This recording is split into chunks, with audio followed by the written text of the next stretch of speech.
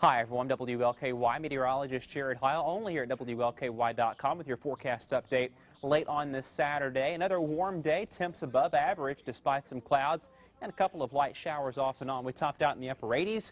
Lows this morning in the very warm mid-70s and only a hundredth of an inch of rain at the airport. But areas off toward the east in Oldham County saw some more rain, 0.46 in the gauge in Crestwood, and toward the west, 0.07 in Lanesville. Otherwise, many of us missing out on that rain, which is not a bad thing. We've seen a lot of rain over the last three and four weeks for sure. Off toward the north and west, quieting uh, really quickly with clearing skies across that part of the country. Cold front has passed us by. It'll be breezy off and on for tonight. North winds 10 to 20 miles an hour early in the evening, dragging in this cooler and drier air from the north and west. Highs today across that part of the country.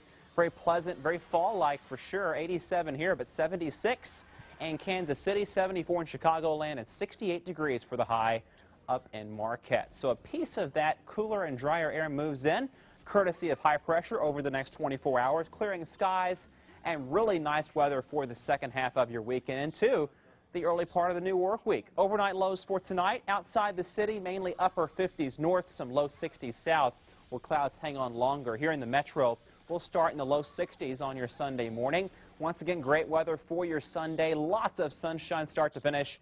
Highs in the upper 70s and into the lower 80s here in Louisville. That surface high settles into the Appalachians.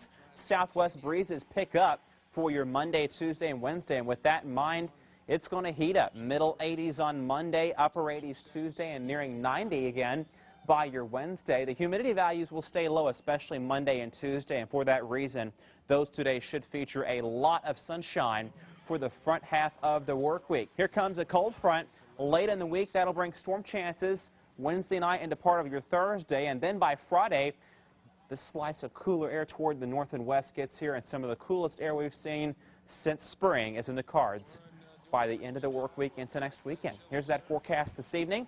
Temps in the 70s, some passing clouds. We're at 74 degrees at 10 o'clock. In the morning, we'll start out in the low 60s, clear skies, and lots of sunshine by midday tomorrow. We're back up at 74 at noon hour. Here's that seven-day forecast for you.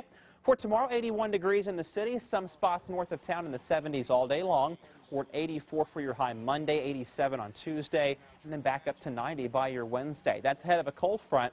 It'll be a breezy day Wednesday, dragging in that warmer air. Then the storms get here Wednesday night, ending Thursday afternoon. Highs Thursday in the lower 80s. Then look at this.